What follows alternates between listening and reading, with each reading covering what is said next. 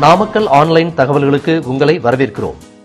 சபரிமலை ஐயப்பன் கோவிலில் நாளை நடை திறக்க உள்ள நிலையில் அங்கு செய்தி சேகரிக்க சென்ற பெண்கள் உள்ளிட்ட ஊடகத்துறையினரை பம்பை அருகே நிலக்கல் என்ற பகுதியில் அங்கு வசிக்கும் பெண்களே தடுத்து நிறுத்தி சபரிமலைக்கு செல்ல வேண்டாம் என்று அறிவுறுத்தி வருகின்றனர். வருகின்ற இருபத்தி இரண்டாம் தேதி வரை ஐந்து நாட்கள் கோவில் நடை திறந்திருக்கும். உச்சநீதிமன்ற உத்தரவின்படி சபரிமலை கோவிலுக்கு அனைத்து வயது பெண்களும் செல்ல தடையில்லை என்பதால் நாளை பதினேழாம் தேதி புதன்கிழமை மாலை முதலே சபரிமலை கோவிலுக்கு பெண் பக்தர்கள் வருகை தர வாய்ப்பு உள்ளது. கேரளாவைச் சேர்ந்த பல பெண்கள் சபரிமலை கோவிலுக்கு செல்ல விரதம் இருந்து வருகிறார்கள். இதனிடையே சபரிமலைக்கு வரும் பெண்களை சாலைகளில் படுத்து தடுக்கும் போராட்டம் நடத்தப்போவதாகவும் ஐயப்ப பக்தர்கள் அறிவித்துள்ளனர். நிலக்கல் பம்பை பகுதிகளில் தொடர் போராட்டங்கள் நடந்து வருகின்றன. அங்கு வாகனங்களில் செல்வோரை தடுத்து நிறுத்தி சபரிமலைக்கு பெண்கள் செல்கின்றாரா என்று நிலக்கல் பகுதியைச் சேர்ந்த பெண்களை கார்களில் சென்று அவர்களை திருப்பி அனுப்பி வருகின்றனர். ஊடகத்துறையைச் சேர்ந்த பெண்கள் யாராவது சபரிமலைக்கு செல்வது கண்டறியப்பட்டாலும் அதனையும் தடுக்கும் வகையிலும் பெண்கள் அங்கு பல்வேறு போராட்டங்களை நடத்தி வருகின்றனர். இதனால் சபரிமலை பகுதியில் சட்டம் ஒழுங்கு பராமரிக்கும் நடவடிக்கைகளில் அம்மாநில அரசு ஈடுபட்டுள்ளது.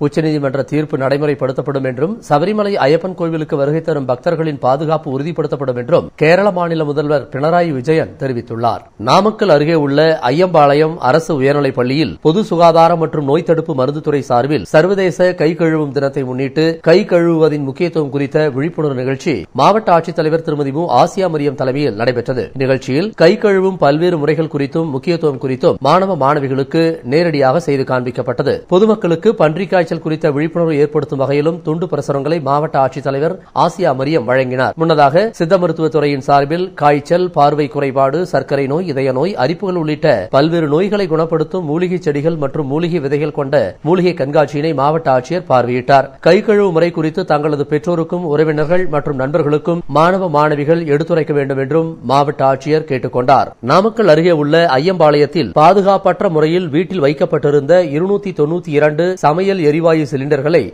வழங்கல் துறையினர் அதிரடியாக ஆய்வு மேற்கொண்டு பறிமுதல் செய்தனர். தனியார் எரிவாயு முகவர் நிறுவனத்தின் மீது உரிய நடவடிக்கை எடுக்கப்படும் என்றும் தெரிவித்துள்ளனர். நாமக்கல் அருகே உள்ள ஐயம்பாளையம் அரசினர் உயர்நிலைப் பள்ளியின் எதிரே உள்ள ஒருவரது வீட்டில் சமையல் எரிவாயு சிலிண்டர்கள் பதுக்கி வைக்கப்பட்டிருப்பதாக மாவட்ட வழங்கல் துறைக்கு தகவல் கிடைத்ததை அடுத்து வட்ட வழங்கல் அலுவலர் சந்திரமாதவன் உள்ளிட்ட அலுவலர்கள் அந்த இடத்திற்கு நேரில் சென்று ஆய்வு செய்தனர். அப்போது அங்குள்ள ஒருவரது வீட்டின் வெளியே திறந்த வெளியில் பாதுகாப்பு இல்லாமல் நூற்றுக்கும் மேற்பட்ட சமையல் எரிவாயு சிலிண்டர்கள் வைக்கப்பட்டிருந்தது தெரியவந்தது. முப்பத்தி மூன்று கிலோ பதினேழு கிலோ பதினைந்து கிலோ உள்ளிட்ட பல்வேறு அளவுகளில் வீடு மற்றும் வர்த்தகத்திற்கு பயன்படும் சமையல் எரிவாயு உருளைகள் வழங்கல் துறையினரால் அப்போது பறிமுதல் செய்யப்பட்டன. இதில் தொண்ணூத்தி ஐந்து எரிவாயு நிரப்பப்பட்ட சிலிண்டர்கள் நூத்தி தொண்ணூத்தி ஏழு காலி சிலிண்டர்கள் என மொத்தம் இருநூத்தி தொண்ணூத்தி இரண்டு எரிவாயு உருளைகள் பறிமுதல் செய்யப்பட்டதாக நாமக்கல் வட்ட வழங்கல் அலுவலர் சந்திரமாதவன் செய்தியாளர்களிடம் தெரிவித்தார். அந்த வீட்டின் உரிமையாளரிடம் விசாரணை நடத்தப்பட்டு அந்த சிலிண்டர்கள் எப்படி அங்கு வந்தன யாருடையது என்பது குறித்தும் விசாரணை நடத்தப்பட்டு வருகிறது. சம்பந்தப்பட்டவர்கள் மீது அத்தியாவசிய பொருட்கள் சட்டம் மற்றும் வெடிமருந்து சட்டத்தின்படி நடவடிக்கை எடுக்கப்படும் என்றும் அவர் கூறினார். நாமக்கல் நகரில் பல்வேறு இடங்களில் செல்போன் பேசிக் கொண்டும் ஹெல்மெட் அணியாமல் வாகனம் ஓட்டிக்கொண்டும் மூன்று பேர் அமர்ந்து இருசக்கர வாகனம் ஓட்டுதல் ஆகிய விதி மீறலில் ஈடுபட்ட இருபத்தி நான்கு நபர்களை நடமாடும் வாகன நீதிமன்றத்தில் பொறுப்பு நீதிபதி ஞானம் பாலகிருஷ்ணன் முன்னிலையில் ஆஜர்படுத்தினர். நடமாடும் வாகன நீதிமன்றத்தில் நாமக்கல் போக்குவரத்து உதவி ஆய்வாளர் ரங்கநாதன் மற்றும் இரண்டு காவலர்கள் மற்றும் போக்குவரத்து மகளிர் காவலர்கள் உதவியுடன் போக்குவரத்து காவல்துறையினர் விதி மீறல்களில் ஈடுபட்ட இருபத்தி நான்கு நபர்களை நடமாடும் வாகன நீதிமன்றத்தில் ஆஜர்படுத்தினர். இதனையடுத்து இவர்கள் மீது இந்த நடமாடும் நீதிமன்றத்தில் வழக்கு பதிவு செய்யப்பட்டு அவர்களிடம் அபராதம் வசூலிக்கப்பட்டது. நாமக்கல் மாவட்டம் ராசிபுரம் அடுத்துள்ள மூலக்காட்டில் நாமக்கல் வேளாண் அறிவியல் நிலையம் சார்பில் தேசிய பண்ணை மகளிர் தின விழா கொண்டாடப்பட்டது. தமிழ்நாடு கால்நடை மருத்துவ அறிவியல் பல்கலைக்கழகம் இந்திய வேளாண் ஆராய்ச்சி கழகம் நாமக்கல் வேளாண் அறிவியல் நிலையம் ஆகியவற்றின் சார்பில் இந்த விழா கொண்டாடப்பட்டது. காளான் வளர்ப்பு நாட்டுக்கோழி வளர்ப்பு தோட்டம் அமைத்து காய்கறி வளர்த்தல் ஆகிய தொழில்களில் ஈடுபட்டு சிறப்பாக சாதனை புரிந்துள்ள நாமக்கல் மாவட்டத்தைச் சேர்ந்த பனிரெண்டு ஊரக மகளிருக்கு இந்த விழாவில் தேசிய பண்ணை மகளிர் தின விழா பாராட்டு சான்றிதழ் வழங்கப்பட்டன. மேலும் நான்கு பேருக்கு மாவரைக்கும் இயந்திரம் ஒருவருக்கு நவீன தெளிப்பான் ஒருவருக்கு கறவை கிடாரி என மொத்தம் ஏழு பெண்களுக்கு ஒரு லட்சத்து அறுபத்தி ஐந்தாயிரம் ரூபாய் மதிப்பிலான நலத்திட்ட உதவிகளும் வழங்கப்பட்டன. வேளாண் தொழிலில் சிறந்து விளங்கி வரும் பெண்களை போற்றுவது மட்டுமல்லாமல் நலிவடைந்த பின்தங்கிய ஏழை எளிய கிராமப்புற பெண்களுக்கு நலத்திட்ட உதவிகள் அளித்து அவர்களை வேளாண்மை உள்ளிட்ட பல்வேறு தொழில்களில் ஈடுபடுத்தி பொருளாதார அளவிலும் சமூக அளவிலும் முன்னேறச் செய்வதே இந்த தினத்தின் முக்கிய நோக்கமாக உள்ளது. நிகழ்ச்சியில் இந்திய யூனியன் வங்கியின் சேலம் மண்டல உதவி பொது மேலாளர் இ. புல்லாராவ் நாமக்கல் மாவட்ட ஊரக வளர்ச்சி முகமை திட்ட இயக்குநர் சி. மாலதி நாமக்கல் வேளாண் அறிவியல் நிலைய தலைவர் நா. அகிலா உள்ளிட்டோர் கலந்து கொண்டனர். நாமக்கல் மாவட்டம் திருச்செங்கோடு வேளாண்மை உற்பத்தியாளர்கள் கூட்டுறவு விற்பனை சங்கத்தில் புதிய நிர்வாக குழு உறுப்பினர்கள் தேர்வு செய்யப்பட்டுள்ளனர். அவர்களுக்கான பதவியேற்பு விழா கூட்டுறவு சங்க வளாகத்தில் நடைபெற்றது. கூட்டுறவு விற்பனை சங்க இணை பதிவாளர் ரவிக்குமார் தலைமை வகிக்க திருச்செங்கோடு சட்டமன்ற உறுப்பினர் திருமதி பொன் சரஸ்வதி சேந்தமங்கலம் சட்டமன்ற உறுப்பினர் திரு சி. சந்திரசேகரன் ஆகியோர் கலந்து கொண்டு புதிதாக தேர்ந்தெடுக்கப்பட்ட திருச்செங்கோடு வேளாண்மை உற்பத்தியாளர்கள் கூட்டுறவு விற்பனை சங்கத்தின் தலைவர் மூர்த்தி மற்றும் துணைத் தலைவர் ராணி ஆகியோரை வாழ்த்தினர். புதிதாக பொறுப்பேற்றுக் கொண்ட நிர்வாக குழுவினருக்கு அதிமுகவினர் மற்றும் விற்பனை சங்க அதிகாரிகள் வாழ்த்து தெரிவித்தனர். மத்திய மாநில அரசுகளின் தொழிலாளர்களுக்கு எதிரான போக்கை கண்டித்து மத்திய தொழிற்சங்கங்களின் சார்பில் நாமக்கல்லில் உள்ள பூங்கா சாலையில் கண்டன ஆர்ப்பாட்டம் நடைபெற்றது.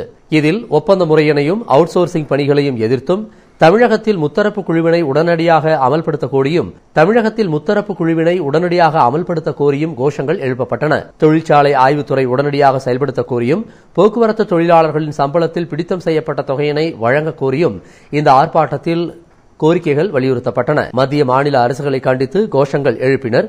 தொழிற்சங்களை சார்ந்த நூற்றுக்கும் மேற்பட்டோர் இதில் கலந்து கொண்டனர்.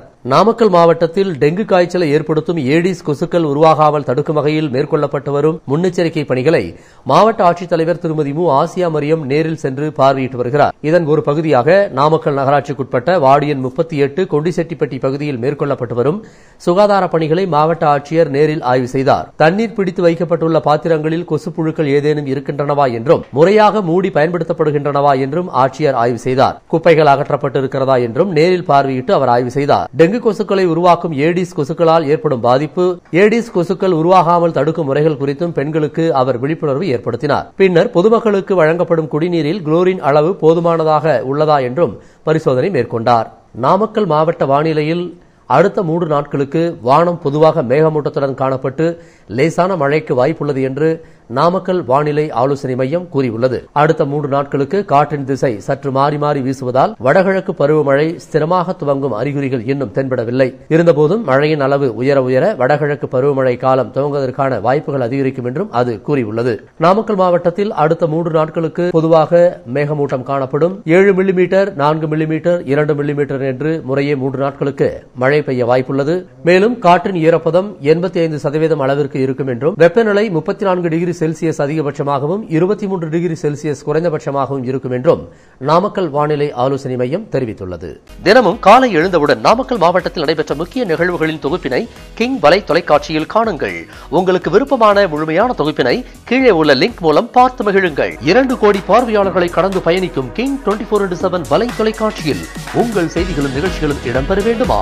உடனே உங்கள் மொபைல் போனில் உள்ள பிளே ஸ்டோரில் King twenty four into seven ஆப்பை டவுன்லோட் செய்து பெண் சிம்பிள் உள்ள இடத்தில் உங்கள் செய்திகளையும் படங்களையும் பதிவிடுங்கள். ஒரே நொடியில் உலக மக்களின் விரல் நொடியில் உங்கள் செய்திகளை சேர்த்திடுங்கள்.